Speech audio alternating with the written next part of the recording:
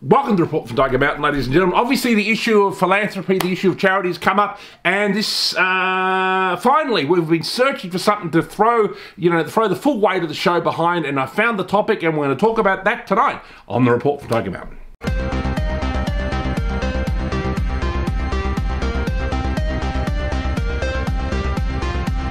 Yes, ladies and gentlemen, yes, we've been looking for a charity here, some some some issue. Uh, we want to get political here at the Report from Tiger Mountain. We wanted something to throw our full weight behind, and I think I found the topic, ladies and gentlemen. And I'd like to thank the uh, Jonathan Greenblatt from the ADL to uh, raise the important issue. This is something that is a terrible injustice in society, and I'm, I'm sure you, it's all going to resonate with you. It's that there needs to be more Jews in Hollywood.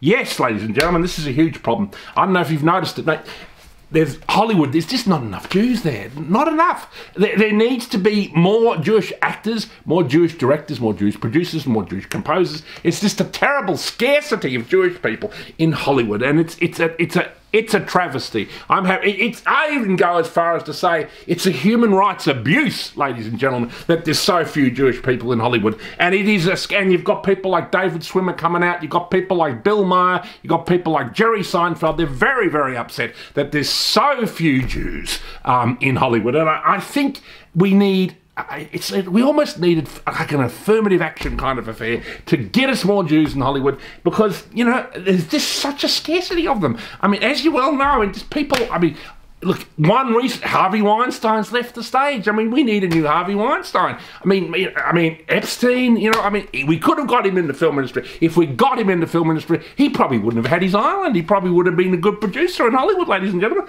So, look, I think this is a fantastic cause, and I can't thank Jonathan Greenblatt enough from the ADL for raising this incredibly important issue of social justice that we need more Jews in Hollywood. I mean, look at that film recently with Bradley Cooper. We had Bradley Cooper, who's not Jewish, I mean, why is he even in the, you know, playing like Leonard Bernstein with this ridiculous carnival nose on his face? Why couldn't we have a Jewish actor? Why couldn't we wheel out Dustin Hoffman or someone like that? I mean, to play Leonard Bernstein, maybe there could have been a young Leonard Bernstein, an old Leonard Bernstein. There were there's opportunity, there were jobs there for Jewish people, ladies and gentlemen, and it's not happening. It's not happening. This is a disgrace, and here at the Report for Tiger Mountain, we're not going to stand for it.